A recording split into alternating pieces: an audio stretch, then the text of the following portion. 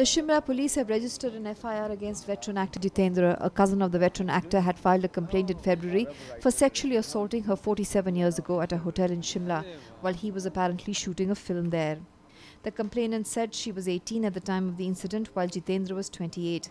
The alleged victim had sent an email to Himachal Pradesh Director General of Police SR Mardi in February this year seeking an FIR against the actor. Shimla's SP Umapati Jamwal has confirmed the report. The police will now record the woman's statement as part of the investigation and she has also been asked to provide any evidence she may have about her stay in the hotel.